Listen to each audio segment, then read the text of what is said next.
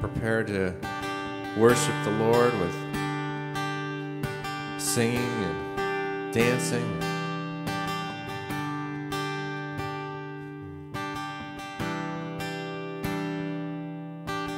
Just going to open in a word of prayer this morning.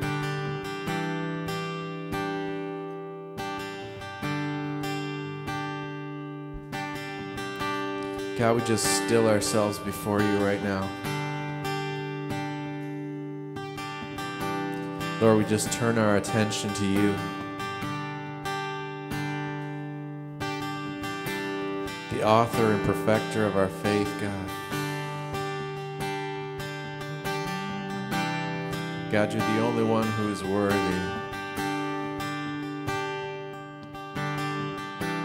And God, even this time of year, as we, it's a time of harvest, God, a time of thanksgiving, even as next weekend we move towards a Thanksgiving holiday.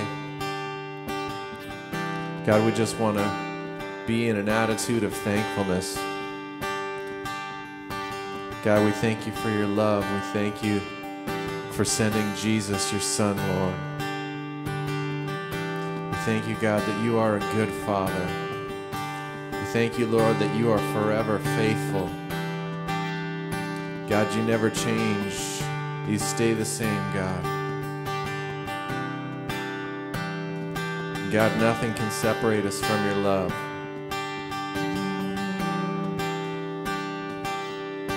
So, God, we just want to come this morning. We want to give thanks to the Lord. God, because your love endures forever, Lord. You are a good, good Father. Lord, you are above all things, God. Lord, you are greater than any circumstance, God, or any challenge we can come across, God. God, nothing is impossible for you, God.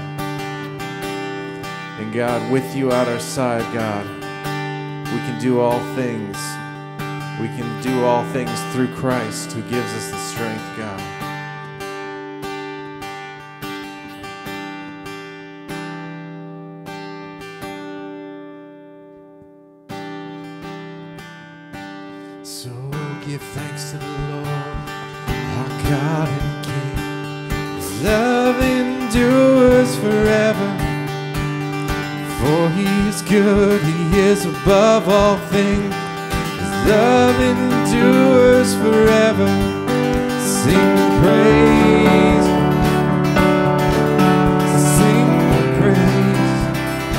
Mighty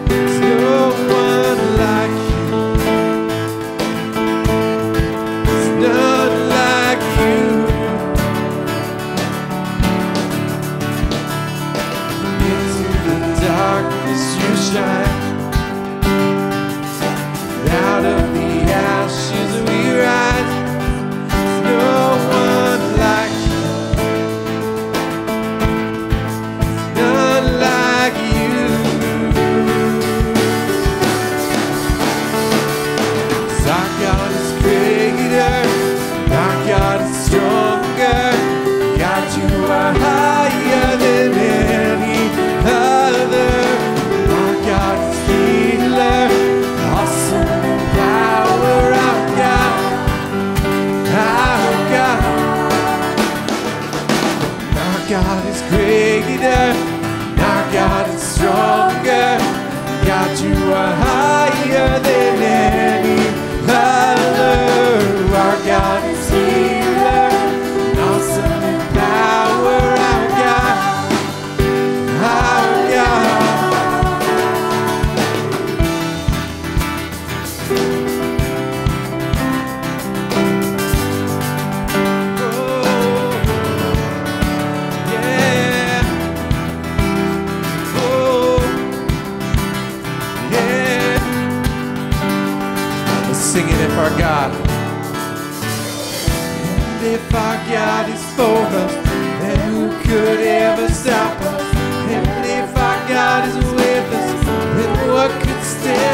Stand? And if our God is for us, then who could ever stop us? And if our God is with us, then what could stand against? What could stand against? What could stand against?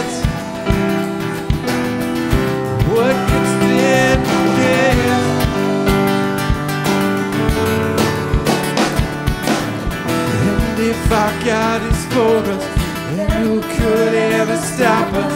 And if our God is with us, then what could stand against? And if our God is for us, then who could ever stop us?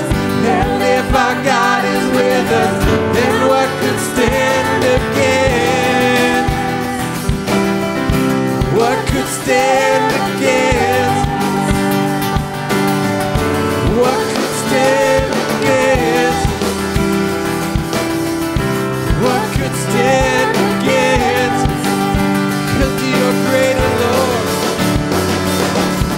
God is greater.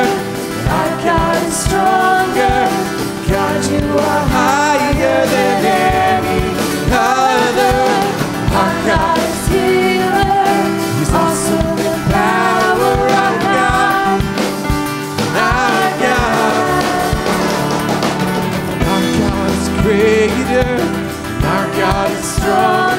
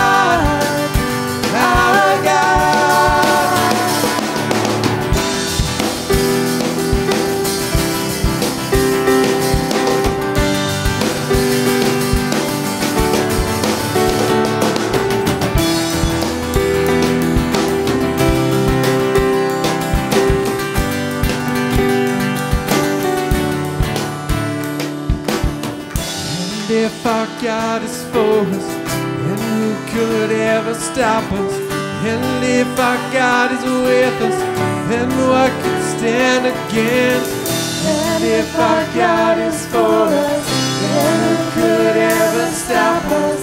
And if our God is with us, then what could stand against?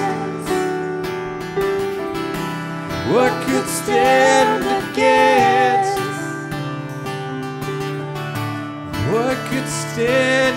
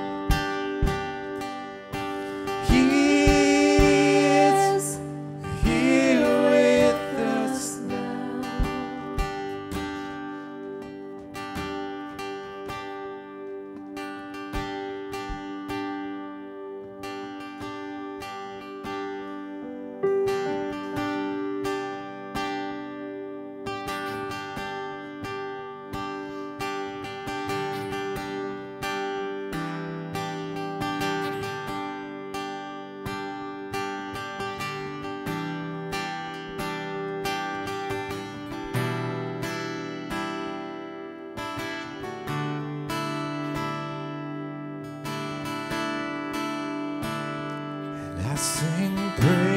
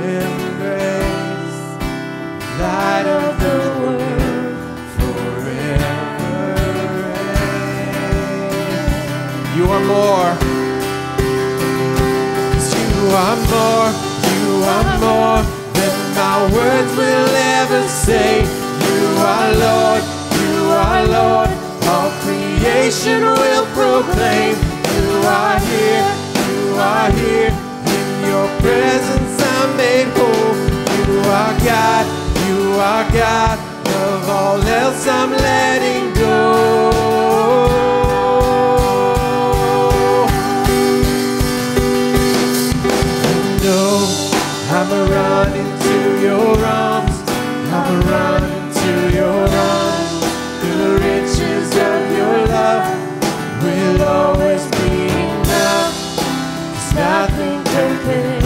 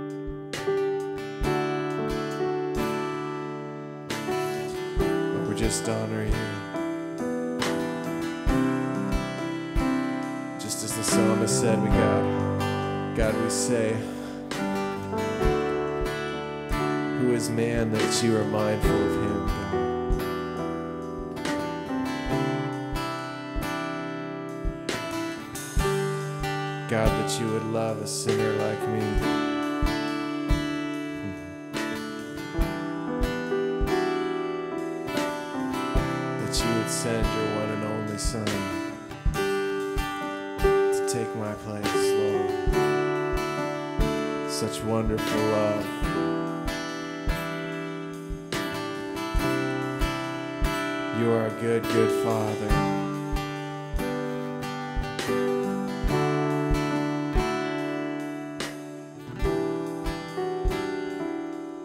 So, God, we just want to lift you up in this place. We want to draw near to you this morning, God. Give you honor.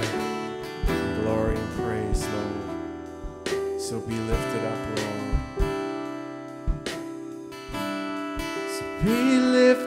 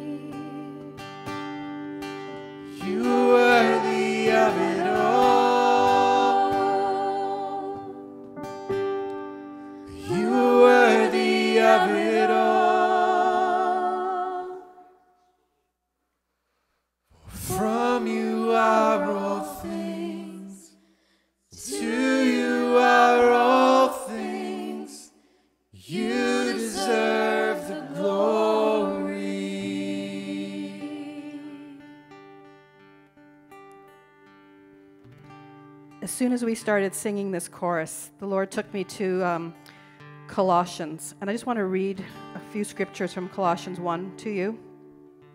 It says, He is the image of the invisible God, the firstborn of all creation. For by him all things were created, both in the heavens and on earth, visible and invisible, whether thrones or dominions or rulers or authorities, all things have been created through him and for him. He is before all things, and in him all things hold together. He is also head of the body, the church, and he is the beginning, the firstborn from the dead, so that he himself will come to have first place in everything. For it was the Father's good pleasure for all the fullness to dwell in him, and through him to reconcile all things to himself, having made peace through the blood of his cross. Through him, I say, whether things on earth or things in heaven. So when we sing this chorus one more time, Pastor Stu, I just want you to, to think about that. All things were created by him, all things were created for him. You were created by him, you were created for him. So why don't we stand this morning and just give him the honor that's due to him as we just tell him how worthy he is of it all.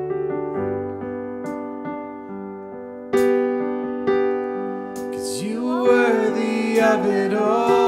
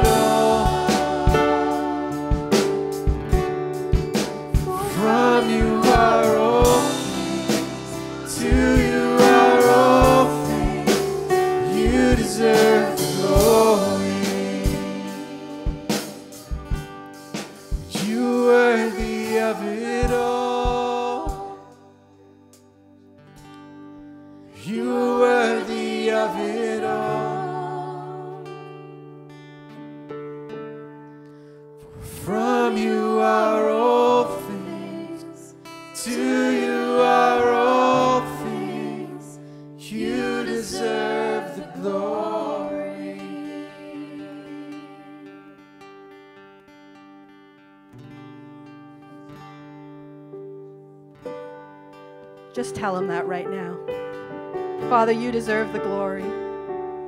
Father, you deserve all the glory. We worship you, Lord God. You are glorious. You are beautiful, O God. You are perfect in every way, O God. You never change. You are the same yesterday, today, and forever. You will never leave us or forsake us. You love us with an everlasting love. You are a good, good Father. We give you all the glory, O God. We give you all the glory. There is no one else that's worthy of the glory but you, O God. We give you all the glory, Father. Forgive us for the times we've given other things glory. You deserve the glory, O God. And we worship you. We worship you. We worship you only, O God.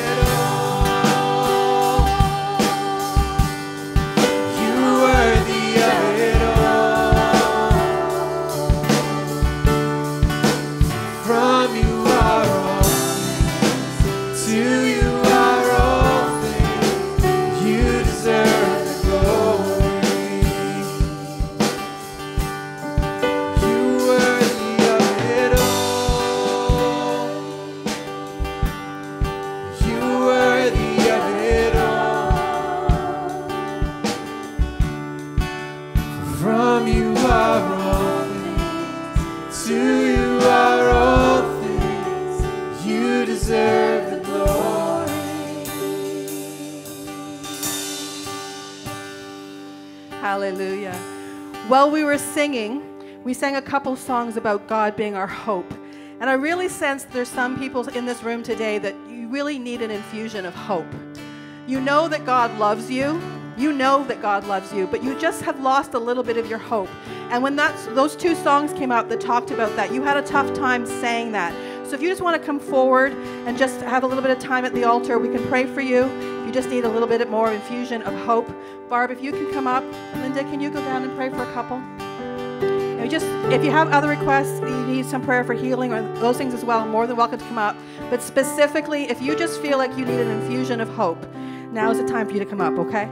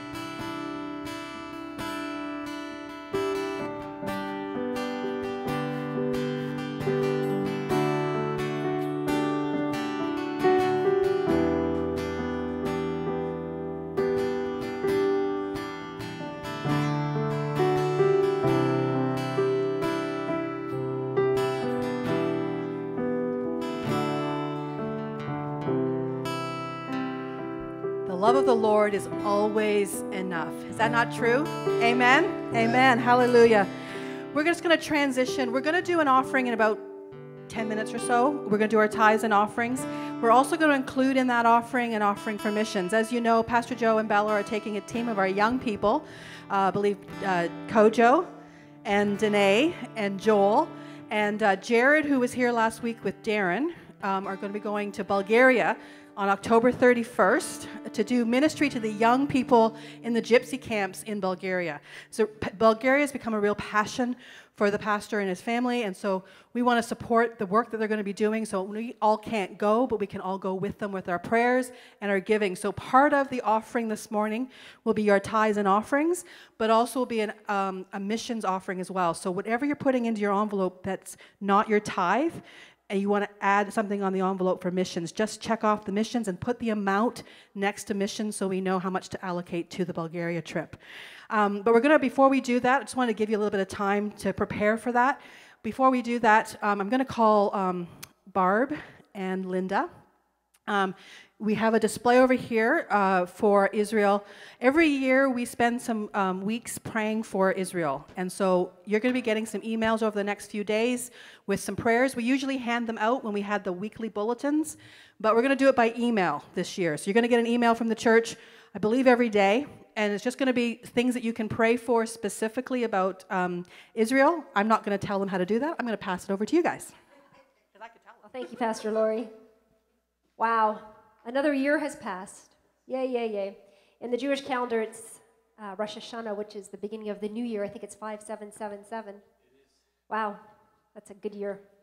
And so it's such a privilege that um, our church has embraced the Jewish roots of our Christianity and that we do celebrate and come alongside our Jewish friends and neighbors.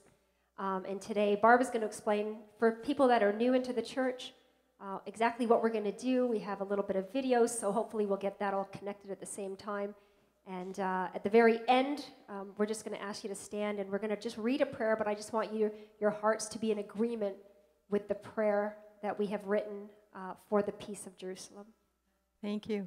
It, it started back uh, about four or five years ago, and it was something the Lord had put on my heart, and I really didn't understand. It came through with the Elijah list, and I looked at it once, and I looked at it twice, I looked at it three times, "Eh, whatever, whatever. But you know, God is very insistent. So about the seventh time, which is a very powerful number, I decided, I think we better tune in. So since then, we have uh, come together to do this uh, on October the 2nd, which is every October the 2nd.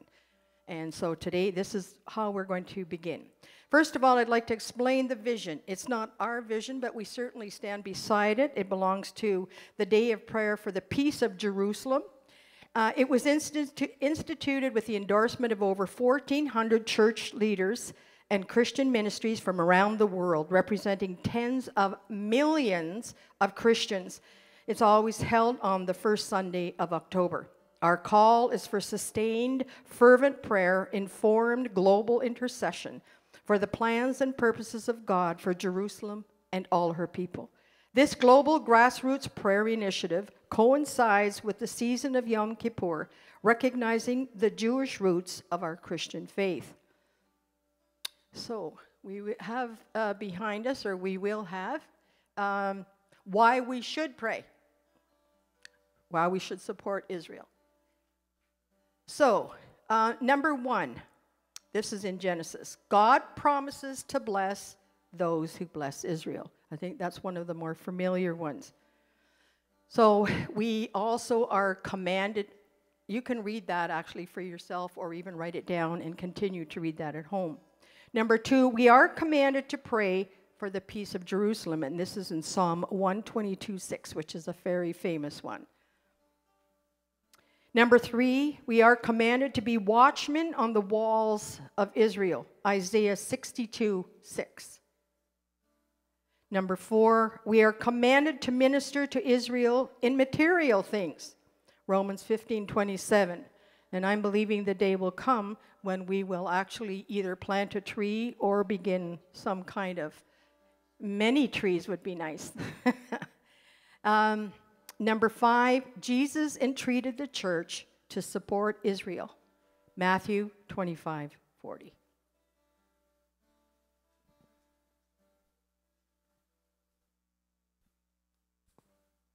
So there's a couple other questions people have asked um, outside of the things that God has commanded us to do, but even just as people living on this earth, why do we want to celebrate uh, and participate in this?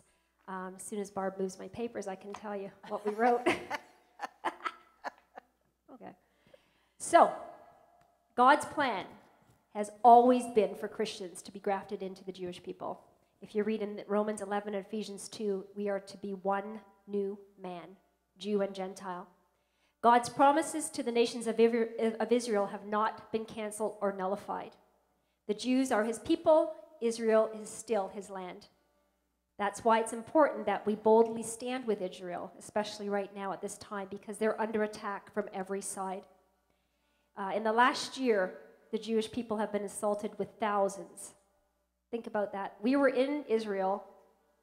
We didn't see anything, but we know that while we were there, there was attacks going on, and we were blessed not to be part of any of those. But there are thousands of terrorist attacks, stabbings, car rammings, rock throwing, shootings, bombings, all resulting in numerous deaths and injuries. The Islamic terrorist organizations are increasing in frequency and intensity uh, with these attacks. Hamas is now, right now as we speak, digging tunnels under the border from Gaza.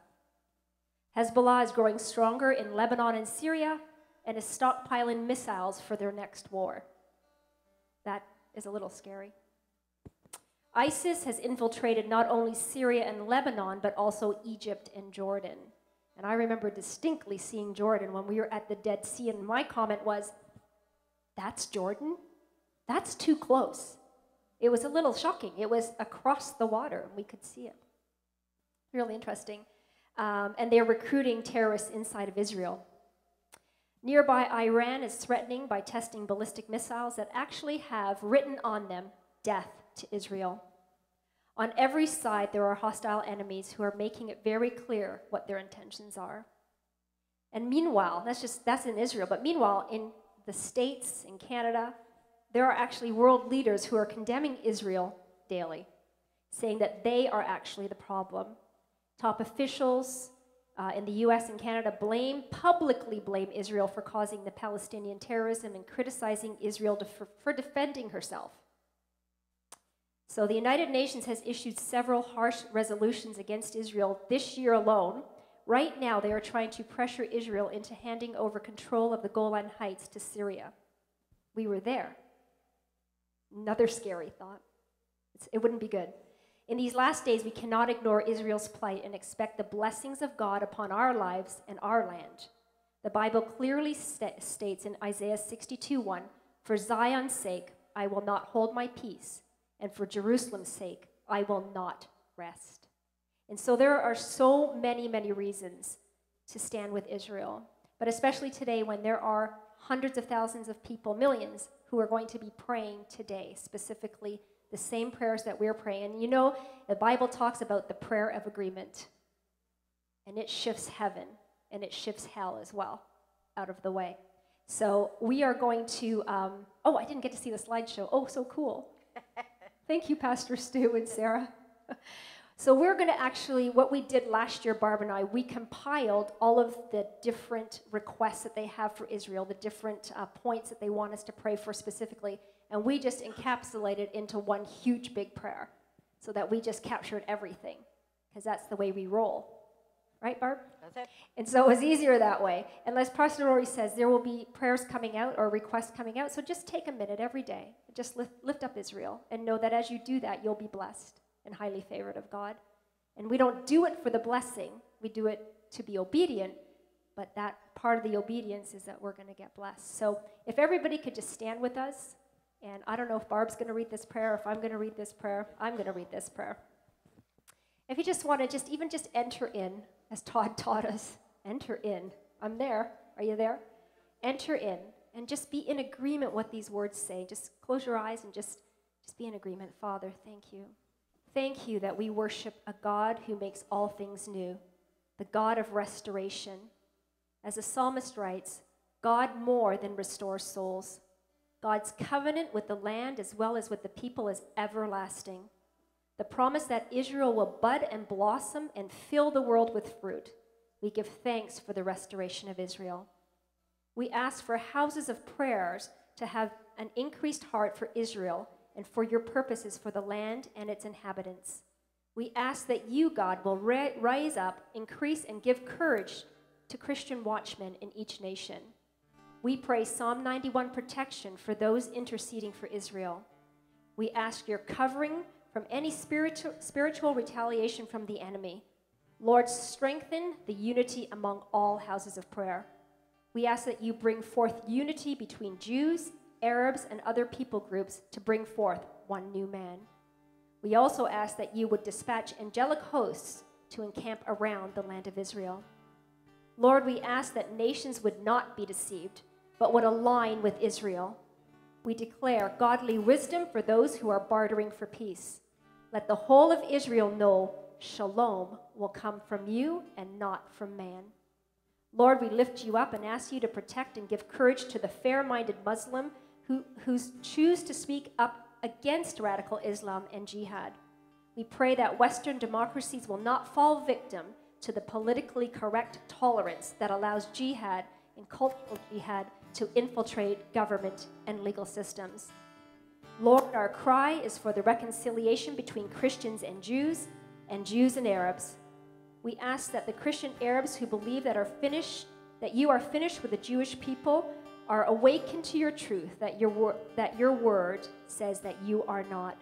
Lord, we ask that you tear down replacement theology that is being spread to some Christian Arab communities and we ask that you protect those Arab believers who do stand with Israel and who do serve you with Jewish believers as one new man in Christ.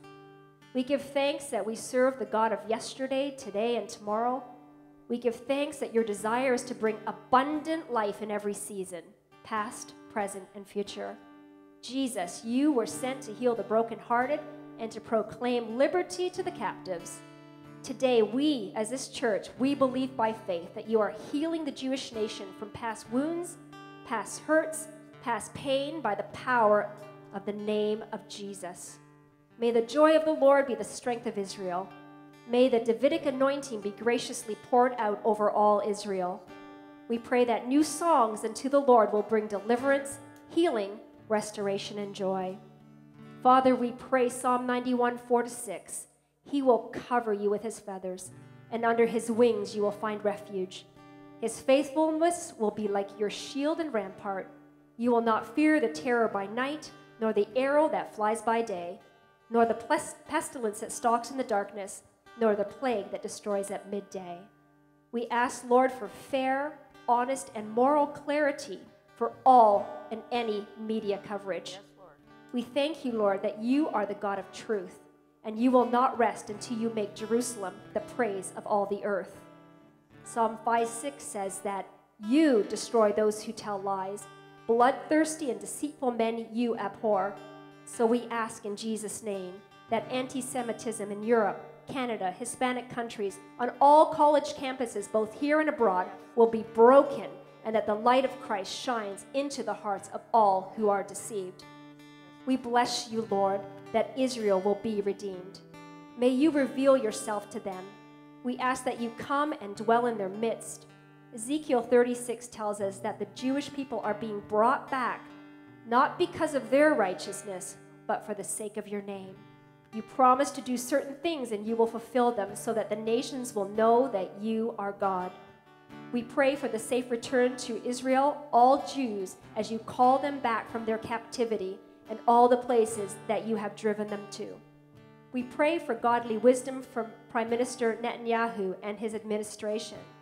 We pray for wisdom for the President of the United States and other democracies in the world, that they would stand with Israel in her time of need. We pray for a strong alliance between America and Israel. Your word says that two are better than one because they have a good reward for their labor. For if they fall, one will lift up his companion. But woe to him who stands alone when he falls, for he has no one to help him up. Though one may be overpowered by another, two can withstand him. And three, a threefold cord is not easily broken. According to your word, you provide for all our needs. There are needs that we lift up to you today rain in the land, a healing love that only you can give to the Israeli youth who experienced war and terror since their birth. for the needy and the poor, the elderly and the homeless. We declare and proclaim over these needs Isaiah 61 1 to 3. The Spirit of the Lord is upon me, because the Lord has anointed me to preach good tidings to the poor. He has sent me to heal the brokenhearted and to proclaim liberty to the captives and the opening of the prison to those who are bound, to proclaim the accept- acceptable year of the Lord and the day of vengeance of our God, to comfort all who mourn, to console those who mourn in Zion, to give them beauty for ashes, the oil of joy for mourning, the garment of praise for the spirit of heaviness, that they may be called trees of righteousness, the planting of the Lord, that he may be glorified. Father, we thank you that you have heard our cry. And Lord, as we conclude this prayer, Lord, we just want to end it with the blowing of your shofar, the same trumpet that we as Christians and those Jews, and those around the world who know you, when you blow that last trumpet, we shall arise with you. So thank you, Lord, as we just listen to the shofar being blown.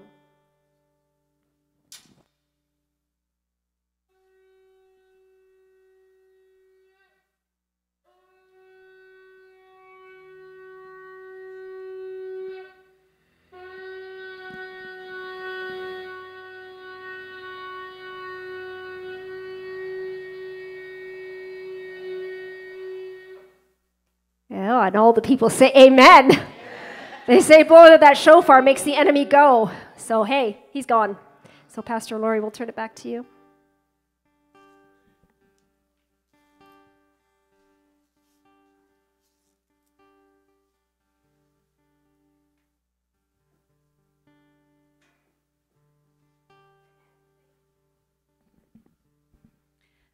Thanks, ladies, for doing that for us this morning. Um, this is a really good place to put in our announcement that we are taking a tour to Israel next November, November 2017. Um, so there are pamphlets in the foyer and at the back of the church with all the information about where we'll be visiting, um, the costs that it'll be if you're going by yourself, the cost if you're going with somebody else. Um, the things that you'll need to take with you. Um, so, if you're interested in going, Pastor Joe and Bella are taking a tour next November. So, not not like next month, but next year, 2017. And it was on the top of my bucket list to go to Israel. And I finally got to do it last year. And I got to tell you, it's one of the best things I've ever done. And if you, if you have any desire to go to Israel, it's, take, the, take advantage of this opportunity to do this. Um, we had an amazing time. We visited a lot of different places. And uh, you see the Bible differently because now you know where the, where the locations are. And so when, when you read in the Bible and you go, oh, I was there, I can actually see how 20,000 people could be sitting on that hill while Jesus taught. Because there are hills where 20,000 people would fit. There really are. So it'll just change how when you read the word, you see it. Plus, just to walk where Jesus walked. And some of the, some of the people got baptized in the River Jordan while we were there. Lots of really amazing experiences. It will definitely strengthen your faith and tap into what you need to know about our roots. It's a really, really good visit. So that's my announcement for Israel. Um, we're going to take up the offering. Um, so, everybody ready? Do we have the declaration ready to go? We do. Awesome. I'm going to move over here so I can see it. I don't have it completely memorized. Why don't we stand? That's okay. And we'll just uh, declare this. We've been declaring this for over two years now. I think it's two years. And uh, just seeing amazing miracles happen um, in the financial breakthrough for a number of our people in our congregation, as well as people who are connected to us because they are blessed because we are declaring this over our lives and the lives of our families. So why don't we declare this today? As we receive today's offering, we are declaring and thanking the Lord for jobs and better jobs, raises and bonuses, benefits, sales and commissions, favorable settlements, estates and inheritances, interests and income, rebates and returns, checks in the mail, gifts and surprises, finding money, debts paid off, expenses decreasing, blessing and an increase Heaven opened, earth invaded, storehouses unlocked, and miracles created, dreams and visions, angelic visitations, declarations, visitation, and divine manifestations, anointing, gifting and calls, position and promotions, provisions and resources to go to the nations, souls and more souls from every generation, saved and set free, carrying kingdom revelation. Thank you, Father, that as I join my value system to yours, you will shower favor, blessing, and increase upon me so I have more than enough to co labor with heaven and see Jesus get his full reward. Hallelujah. Why don't you come forward with your offering? Again, this is tithes, offering, and missions this morning.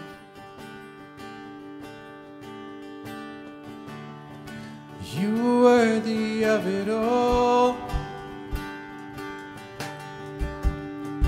You worthy of it all. From you are all things, to you are all things, to deserve glory. You worthy of it all. You worthy of it all. From you are all things, to you are all things. You deserve glory. Amen. Amen. So, Pastor Joe and Bella and Andy and Joel and Rachel left uh, yesterday um, for a week in Cuba. Um, I don't know if you saw their post on Facebook. They're headed into the eye of a hurricane. he always says whenever he goes somewhere, there's always strong winds. So just, just keep them in prayer that not only are they protected from the weather, but they actually have nice weather. If you know Pastor Joe and Bella, they like to lie on the beach and just, you know, turn over, tan on the other side for a while and then turn back over. Um, so just pray for them as they're as they're away this week. They'll be back next Saturday. He'll be here next Sunday morning preaching.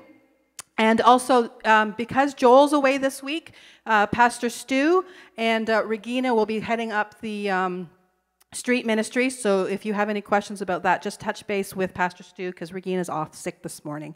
So we can just keep her in prayer as well.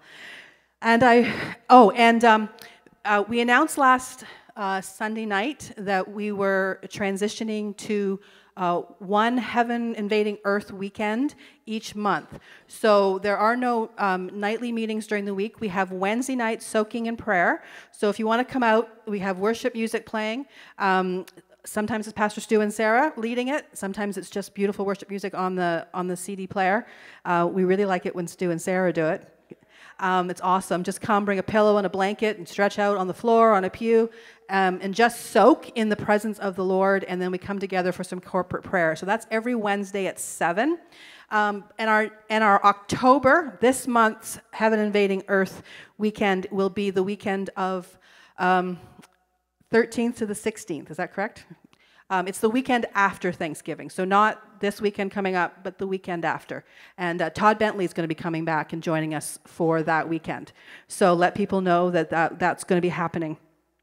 Uh, and I believe that's all our announcements. So, we're going to transition into the Word. Um, so, this morning, uh, I'm going to do, my friend want, I, I sent a text to my friend saying, I'm having a really hard time settling on a topic this week, um, which isn't usually a problem I have. Usually the Lord just gives me one. And uh, so I gave her some of the options. I asked her what she thought I should preach on, and, and you don't want to hear what her topics were. So we'll she's in a little bit of a God is in a smitey mode right now. So, um, but um, we, so I said I had this topic, this topic, or a pre Thanksgiving, Thanksgiving message. And she said, I picked that one because I just want to hear you say pre Thanksgiving, Thanksgiving. So we're going to do a pre Thanksgiving, Thanksgiving message. That was for you, Lisa. Um, and so uh, typically on Thanksgiving Sunday morning, we often will hear a, message about being thankful.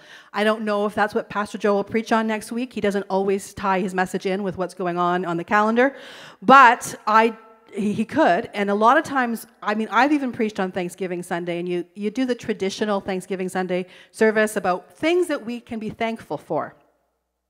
And I'm sure if we went around the room, and, and people probably do this around their table on Thanksgiving dinner, go around the table and say one thing that you're thankful for, and we could probably all list the same similar things. And I really could have done a message where everything started with an F. We're thankful for family, we're thankful for friends, we're thankful for faith, we're thankful for finances.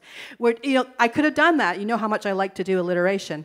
But but the Lord led me in a different direction.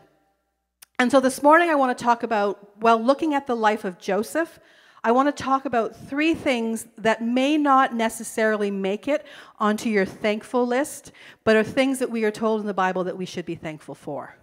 So, so it may not be the most popular one this morning, but um, I really did. I, I originally was working on the message and took the word thanks and thought, oh, let's just do something for T and H and A and N and K and S. I wasn't going to do Thanksgiving. That was just too many points. But I thought I could do thanks.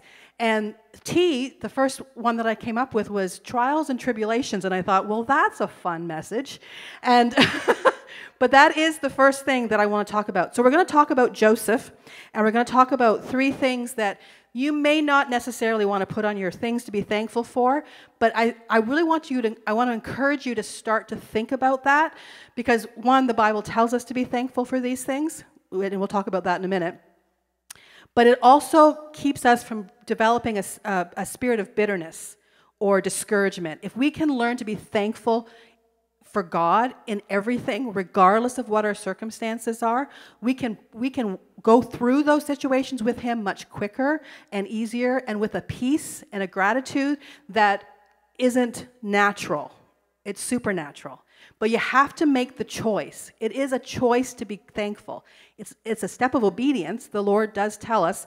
Uh, 1 Thessalonians 5 16 to 18 says, Rejoice always, pray without ceasing, in everything give thanks, for this is God's will for you.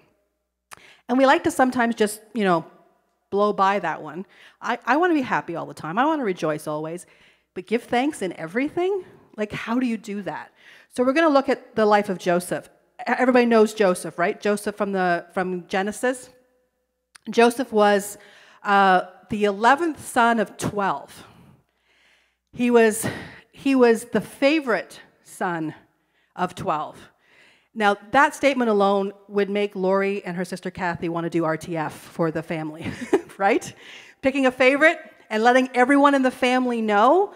And he did this. His father Jacob let everyone in the family know that Joseph was his favorite by making him a coat of many colors and giving it to his son and letting him know why he was giving him the coat. So all the brothers knew that this son was the favorite.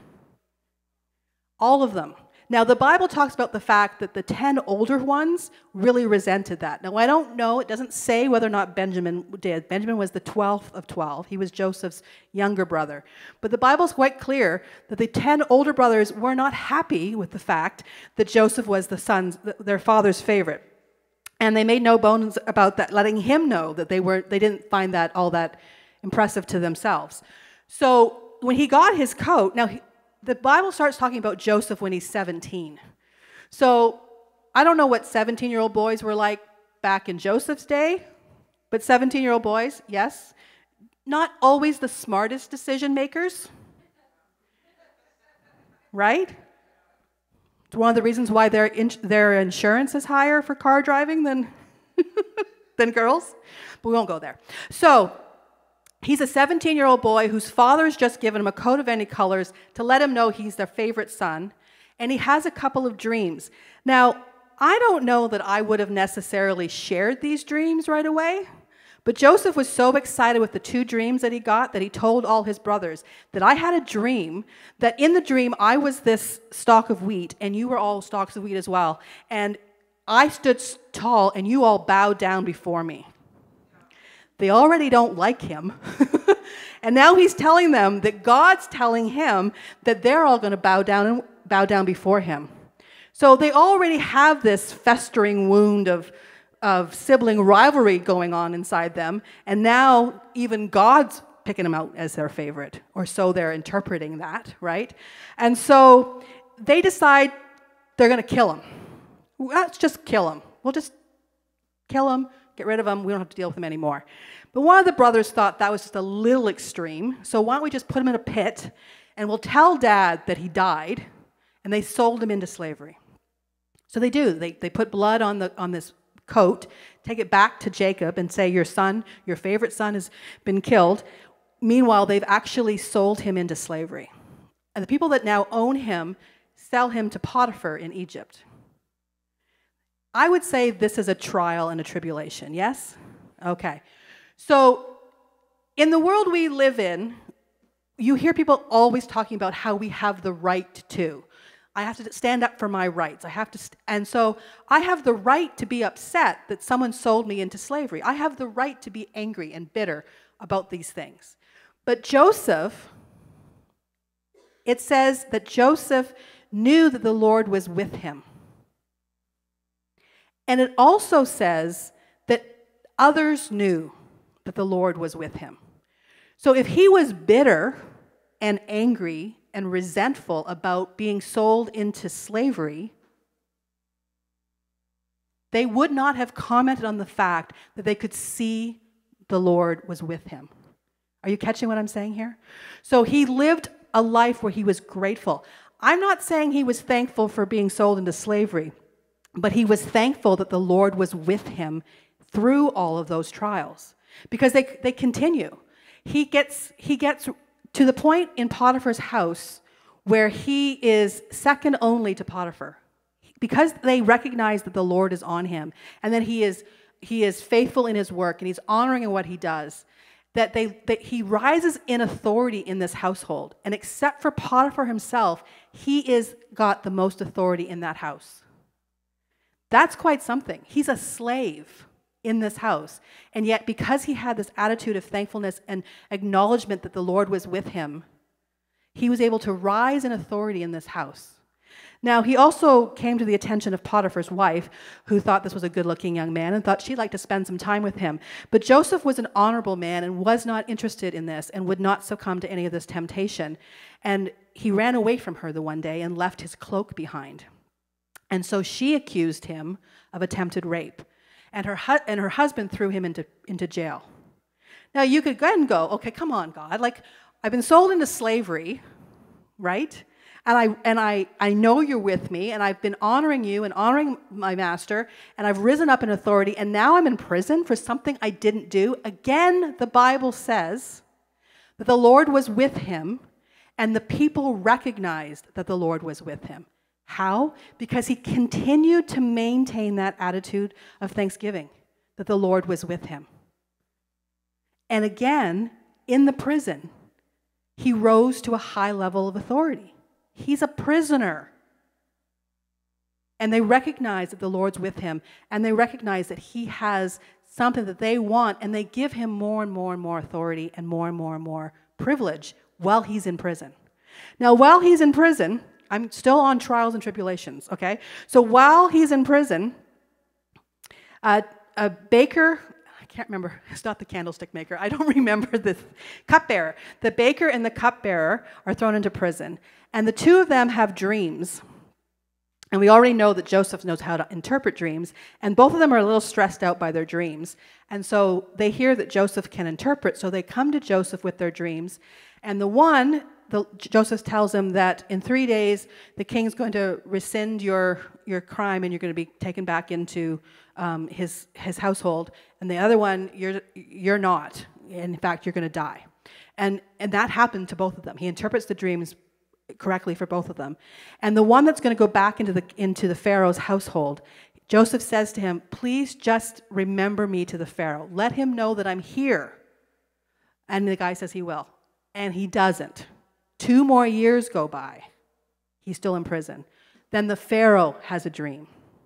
And it's only after Joseph interprets the Pharaoh's dream, the Pharaoh brings him out of prison. And it continues to say that the Lord was with him and that people recognized that the Lord was with him. So it is possible to be thankful in the midst of trials and tribulations. Now, I have had trials and tribulations in my life. I know all of us have had trials and tribulations, some to greater degrees than others, but we've all had to face things that are difficult to go through, that they're, fit, they're physically difficult, they're emotionally difficult, sometimes spiritually hard to go through, and sometimes we try to go through it in our own strength. And we get bitter or we get angry or we lose hope. Um, and the Lord wants us to know that if we can learn to be thankful in everything, including when we're going through a trial and tribulation. Now, don't get me wrong. I'm not saying if you're going through a trial to be, like if you have a health crisis, that you're thankful for whatever illness you have. But you can be thankful for the fact that God is in control. You can be thankful for the fact that the Lord will never leave you or forsake you. You can be thankful for the fact that He is your healer. And it's a choice that we make. We can, we can make the choice to be bitter and, and, and mad at God, or we can make the choice to be thankful that He is the same yesterday, for today, and forever, that He'll never leave us or forsake us, that He goes before us. All the promises of the Bible, either we believe that they're true or we don't. And, in the, and it's when we're in those moments of crisis, those moments of trials and tribulations, that we really need to call on those promises and choose to, as Thessalonians says, rejoice always, pray without ceasing, in everything give thanks. I don't want to give thanks, but I've taught, I've learned how to make that choice because it's different. When we first got sa- saved, I was a teenager, and we had a we had these books. My mother had these books called um, Power of Praise, and it's a similar concept. Is that you just learn to praise Him regardless of what your situation is. The situation may not change. A lot of times it will, but your way of dealing with that situation, your attitude throughout that situation will change, which gives you the ability to go through it. Let me give you some, some scriptures to back up what I'm talking about. James tells us this James 1 Consider it all joy, my brethren, when you encounter various trials. Okay. Consider it all joy, my brethren, when you, when you, when you, not if. He doesn't say if you encounter various trials. He says when. Jesus even told us you're gonna, you're gonna encounter difficulties. But be of good cheer, I've overcome the world. One of the greatest things that we can be thankful for as believers is that Holy Spirit resides inside of us. Holy Spirit, the same Spirit that raised Christ from the dead, resides within you. We have everything we need to walk through these trials and tribulations with thankfulness. We really do. James 1 Consider it all joy, my brethren, when you encounter various trials, knowing that the testing of your faith produces endurance. And let endurance have its perfect result, so that you may be perfect and complete, lacking in nothing. The trials and tribulations create something within you. Now, I was really, really bad at art in class in school. Like the art class, hated art class. Everyone loved it. It was like, like it was like an easy class. Give me a math class any day. I did not like art because I could not create anything. I mean, I could see it here. It just did not come out of my hands. I remember having to do pottery. Remember doing pottery in class? Yeah, and you had to mold it. My, my mother still, I think she still has it. It's a terrible looking. Actually, one year, one year, I'm going to age myself here. One year, I didn't get a very good mark, but it was the best thing I ever created. I did a pet rock, because you really can't screw that up. anyway, but there's a process in pottery where after you have formed it and, and whatnot, it has to go into the kiln and it gets fired up. I don't think the pottery enjoys the process. It's pretty hot in there. It's really hot in there. But it's an integral part of the perfection, of the, of the producing of perfection. Even the little flaws create the, the, what, what is really perfect in, art, in an artistic way. And so when we go through a trial and a tribulation, the Lord is producing in us endurance, which we're not going to get when things are going really well.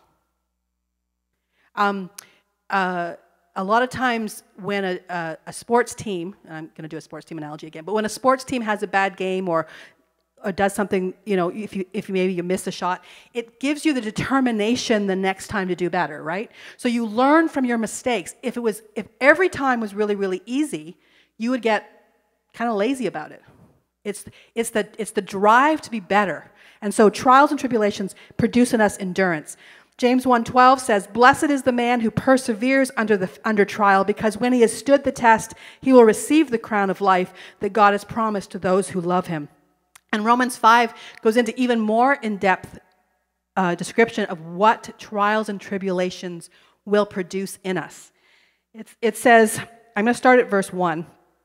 Therefore, having been justified by faith, we have peace with God through our Lord Jesus Christ, through whom also we have obtained our introduction by faith into this grace in which we stand.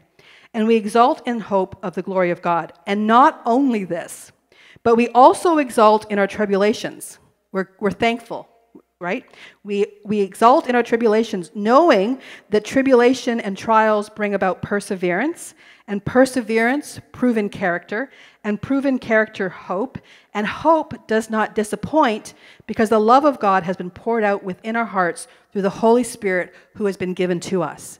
So, trials and tribulations will produce in you perseverance per, and, and develop your character, produce hope and love. So there's a purpose behind it. Now God's not not God's not giving you the trials and tribulations. We we live in a fallen world. There are there is sin in our world. There are sin there is sin in our world. And so decisions that people make affect us. God uses those things to perform these, these, this in us endurance. He allows it that we live in a fallen world. We are responsible for the decisions we make and the reactions we have to what's done in us and around us. What we do has consequences. And the Lord can take those and He can build within you um, perseverance and proven character and hope and love. In Isaiah 43 1, it says, Do not fear, for I have redeemed you. I have called you by name. You are mine. When you pass through the waters, it says when not if. When you pass through the waters, I will be with you, and through the rivers, they shall not overwhelm you. When you walk through fire, you shall not be burned, and the flame shall not consume you. These are the promises that we hold on to when we are able to say that we are thankful for the trials and tribulations that, come into our lives. Yes? Yes. So when those things happen, we can, be, we can say with the, the writer of Thessalonians, Paul, that we are thankful in all things because we know that we're going to we're gonna have our character. There are things that are going to get rough, um, shaven off our character that need to be perfected in us. There's going to be things, we're going to come stronger. Um, many of you know I worked at a domestic violence shelter for almost 20 years, and the 22 year old that went into that, into that job was very quiet, very shy, terrified of everybody who lived in that building. And for three months would sit in my car and pray and say to God, please don't make me go in there. But he, I honestly do not know who I would be today if the Lord had not led me to work there. Because it, it, it created perseverance in me, it created endurance in me. I couldn't not go in. I had, I had bills, I had a job, I had, a, I had commitments, and, and I became really good at my job, but it took me some time to trust that the Lord was in it because it was so outside my natural ability and my training. But it produced in me character and endurance and perseverance and hope. And every time we exercise our faith, every time a trial and tribulation comes along and we get through it, because the word says we'll go through it, the psalmist says, Yea, though I walk through the valley of the shadow of death. We don't camp there, but we walk through it. That we know that the Lord is making us stronger and it prepares us for the next stage that we're going to go through. We get lots of really good times, but we do get trials and tribulations. And we know Romans 8 28 we all know that verse that God works together for good for those who love God. And sometimes we just don't like to hear that verse because a lot of times it gets told to us when we're right in the midst of the crisis. like, yeah, I know that, just don't tell me that right now. But if we learn to, to recognize the truth of those things, then we can, we can, like Joseph, be thankful that the Lord is with me in such a way that others will recognize it in you as well. And that's sometimes that's the greatest witness we have. Um, those, those first few months at the shelter, I mean, I almost quit I don't know how many times. But I think of all the things that I did in those 20 years and some of the people that I, that I ministered to and people that I witnessed to and people that got saved and who, who, who lives got transformed because I persevered and allowed the Lord to, to, to strengthen me. Allow the Lord to rub off those or shave off those rough edges. We had a, we had a staff member. I don't usually lose my cool very often. Doesn't happen that often. And every once in a while, someone will come along that can push that button. And we had this one staff member that could push my button like nobody could. And it wouldn't really matter. And I just, and I knew that there was something in me, because I had learned this. I knew there was something in me that the Lord wanted to deal with. I remember going into my friend's office and saying, saying this to her. I know there's something in me that the Lord wants to deal with. I wish I could figure out what it was so we could get it over with and she could just go away. Which it wasn't really the point of the whole thing. I mean, I worked through whatever it was and then she stopped being able to push my buttons. But there are people that the Lord will bring into your life. There are trials and tribulations that the Lord will allow that will produce endurance and character and hope and love. So, the second thing I want to s- suggest that we add to our gratitude list is when the Lord decides, when the Lord invites us out of our comfort zone. Don't you love when the Lord invites you out of your comfort zone? Yeah? Does, does He do that to you? Or am I just the only one? Yeah. So, we don't grow. We don't grow in a healthy way in our comfort zone. If we get too comfortable, say in the natural, you sit in your comfy chair and you eat your, you eat your comfort food and you never leave that spot because you're comfortable. In the physical, you'll get fat and you'll, and, and you'll lose stamina and you won't have strength. Um, and so it's the same in the supernatural, same in our spiritual walk as well too. It's important that we don't get comfortable where we are. I remember having a pastor say one time how proud he was that people came into his church and were comfortable. And I knew what he meant, but it always bothered me because I don't think the Lord wants us to be comfortable. Because we don't grow when we're comfortable.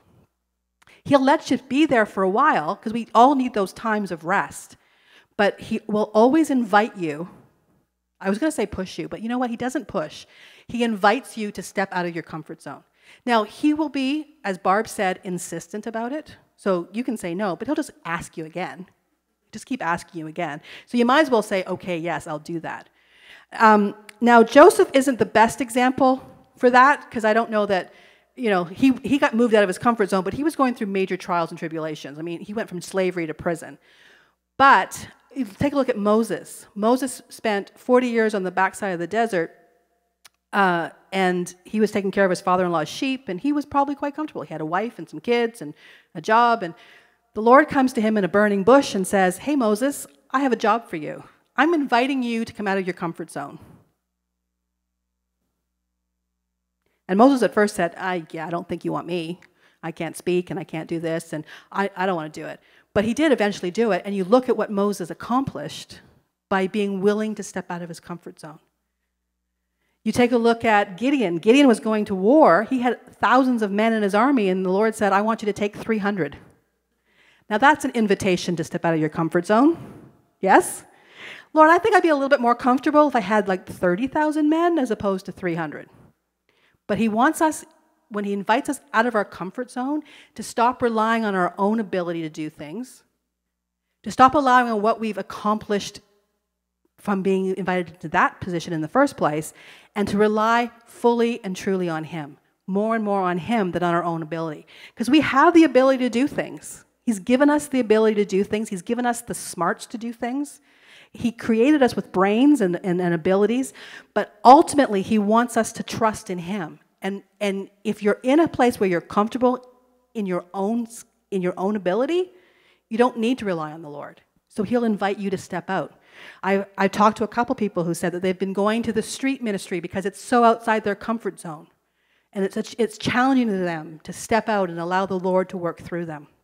When we step out of our comfort zone, we see the Lord do incredible things. And he, and he again, will produce in us perseverance and endurance and character and hope. And we'll, and we'll grow in and, and because you're exercising your faith. And when you exercise something, what happens to it? It gets stronger.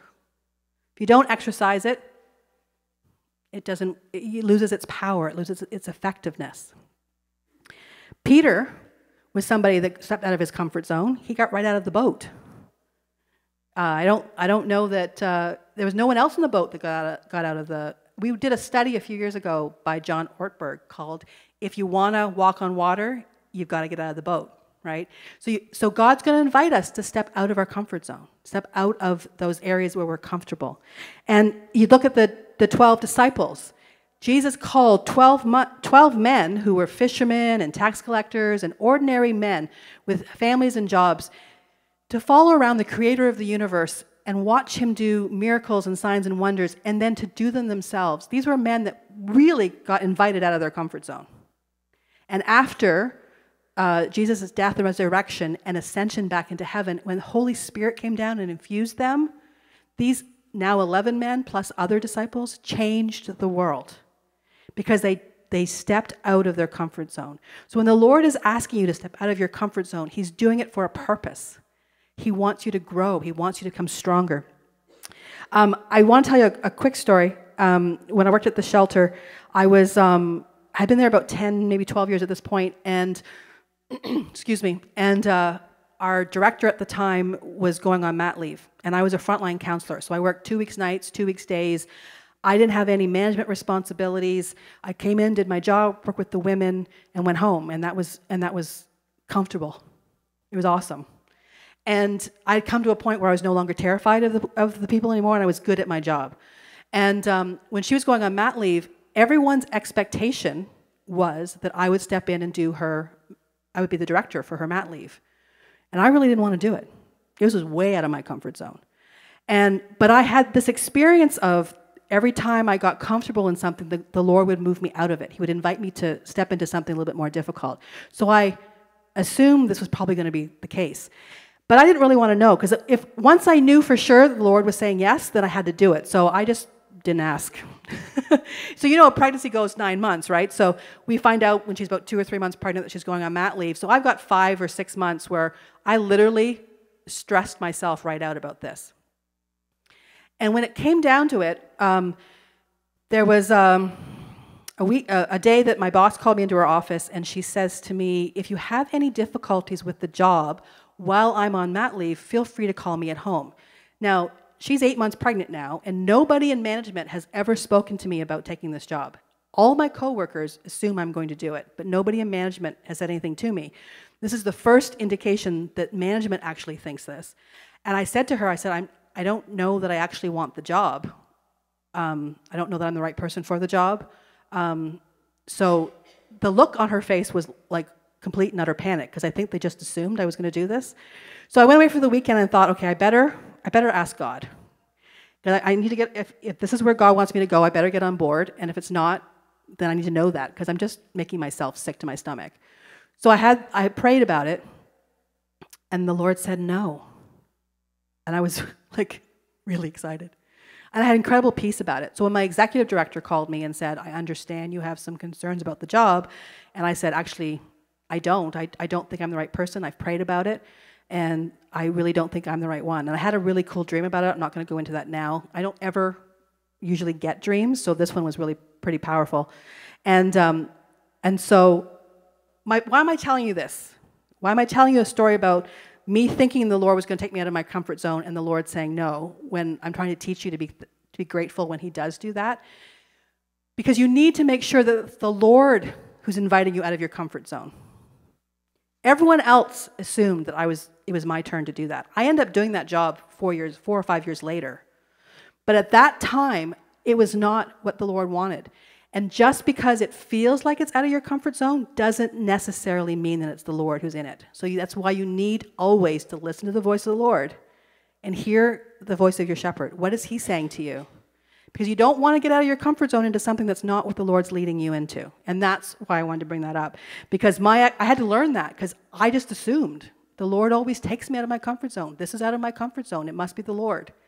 Until I finally asked him, you need to stay in communication with your Lord and Savior. Amen? Yes?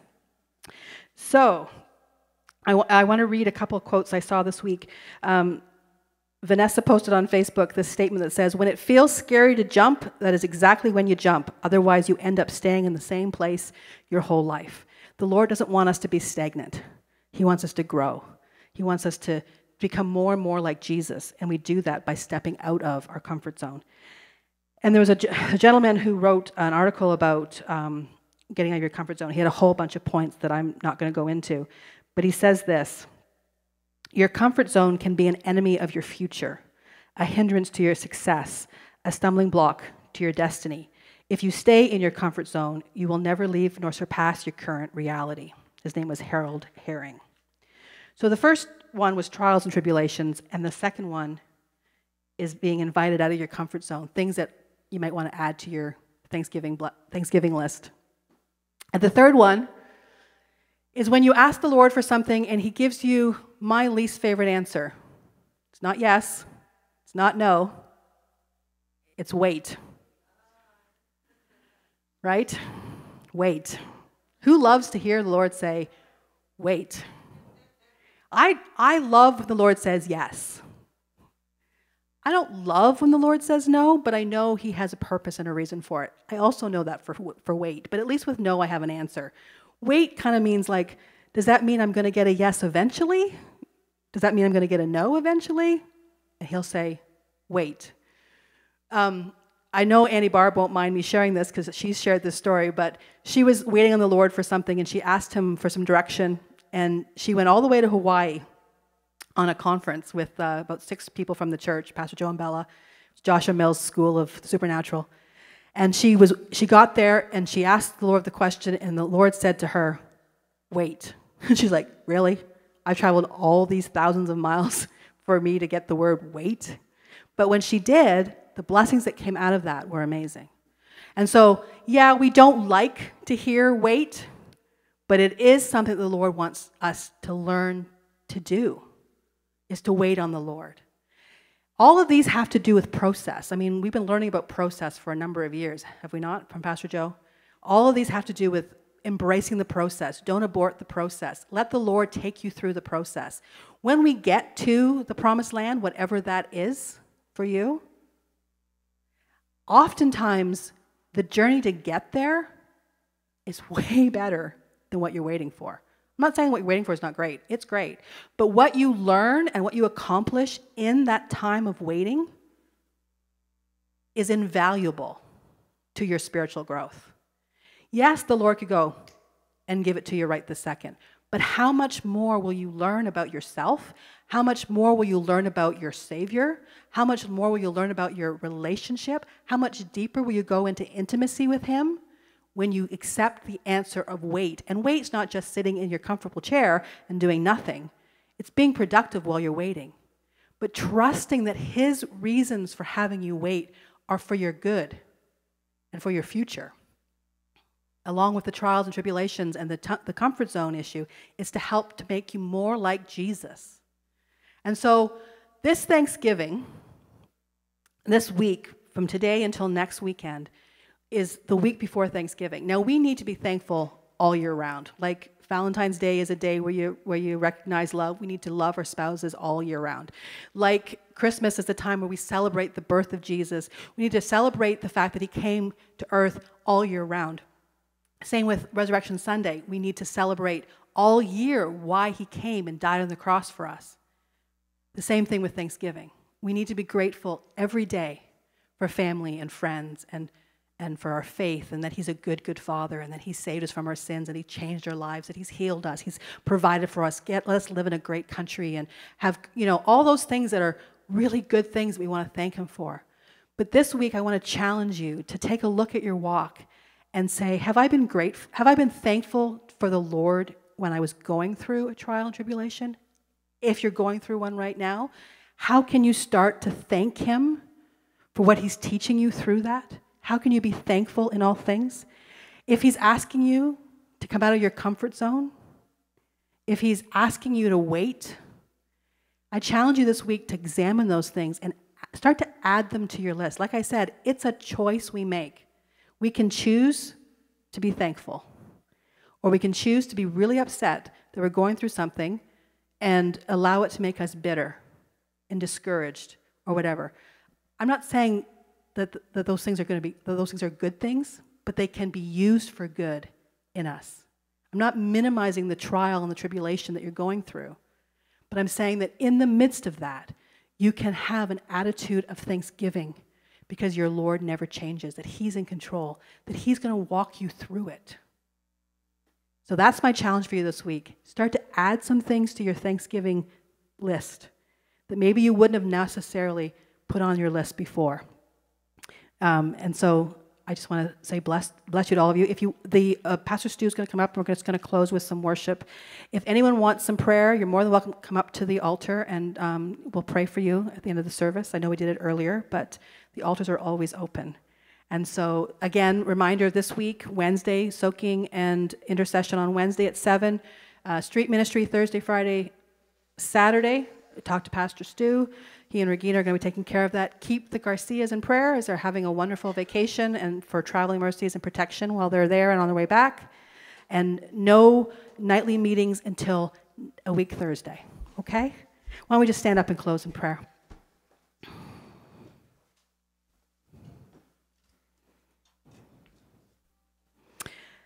Father, we worship you. We love you, Lord. We bless you, Lord. And we pray, Lord God, that as we spend this next week in anticipation of Thanksgiving, Lord God, that we would re examine those things in our lives that we are thankful for and maybe need to start making decisions and choices about being thankful for. We thank you, Lord, that you are the everlasting Father. We thank you, Lord, that you are in our lives and that you love us with an everlasting love. We thank you, Lord, that nothing that we can do will take us away from that love. That you love us more than we can possibly imagine. That you are wanting to do exceedingly abundantly above all we could ask or imagine in each of our lives, in our families' lives, in our community, in our city, in our church, in our country, Lord God, in our world, in Israel, Lord God. We thank you, Father God, that we can bring everything that we have to you and know that you will listen, that you love us, that you have, you have the best plan in place for us. And so, Lord God, we thank you. We thank you for who you are. We thank you for what you do. And we thank you for what you're going to continue to do in us and through us. And we give you all the praise and the glory. Amen. Amen. Have an awesome week, everybody. And if you want prayer, come on up.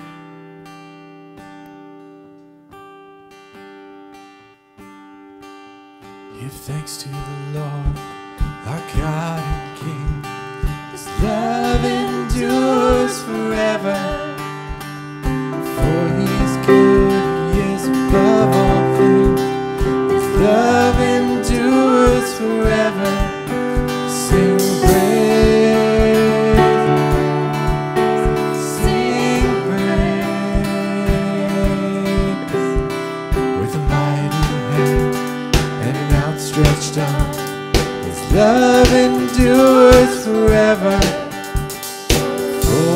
life that's been reborn, His love endures forever.